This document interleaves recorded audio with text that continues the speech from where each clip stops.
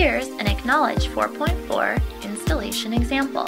In uAcknowledge 4.4, once you've opened your disk or extracted your zip file, locate the AcqKnowledge Product Care Center. Launch the Product Care Center, and then you can choose the hardware that you're going to be working with. For example, if you're using an MP150, select that and click Next. These will be the components installed. If you're using additional hardware, such as B-Alert, select that as well, click Next, and you'll see the additional components that are required. We'll go through a standard MP150 install, which will install these three components.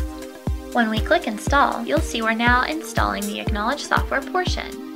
We'll continue through this installer process and advance through the dialogues as they're presented.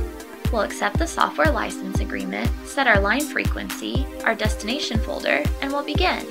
Now the AcqKnowledge software will be downloaded onto the computer. We're going to copy over the new files and complete the installation. Once AcqKnowledge has been completed, we can click on Finish and we'll see the status update from installation to done.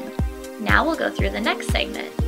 Again, once it's finished, we're complete, the status updates, and we move on to the final component accept the license agreement, click Next, once that is completed, we've successfully installed everything we need for the MP150 and AcqKnowledge. We can now launch the software to begin recording our first experiment. AcqKnowledge is now up and running and ready to use. AcqKnowledge 4.4 includes a variety of new analysis features, user interface features, and additional functionality. Contact BIOPAC today for more information or a quote you can contact us at info at biopac.com.